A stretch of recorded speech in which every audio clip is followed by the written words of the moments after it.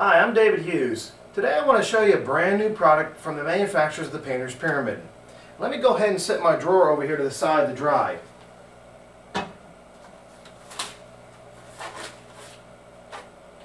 Now, in case you're not familiar with what a Painter's Pyramid is, it's a little accessory that's designed to help us while we're standing and finishing our projects. It's made from a non-stick plastic so if we get finish or stain on it, it won't adhere to, to the pyramid.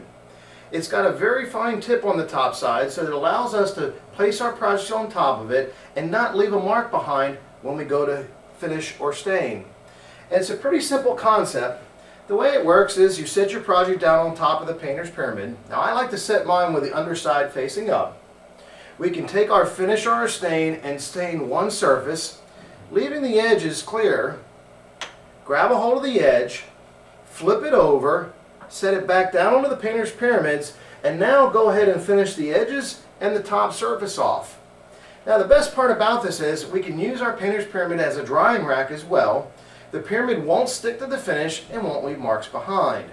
Now that's great when our projects are flat or that we're just trying to work on one surface. But what about those, those larger projects that we need to go work around it or we find ourselves constantly rotating around the workbench?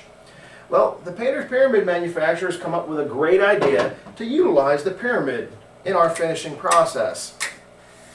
It's brand new and it's called the Painter Pyramid Turntable.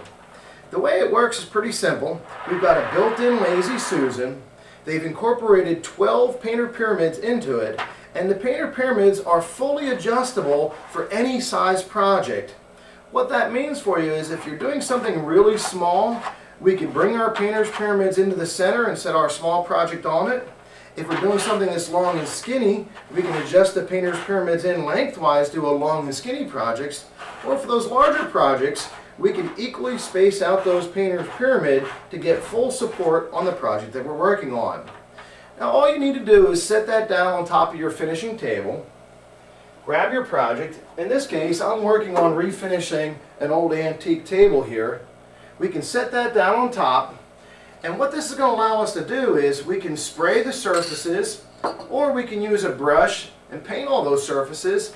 And instead of touching the side and getting those smear prints or getting finish all over our hand, we can rotate our projects around, making it very easy and very handy to get our projects finished in a quick fashion.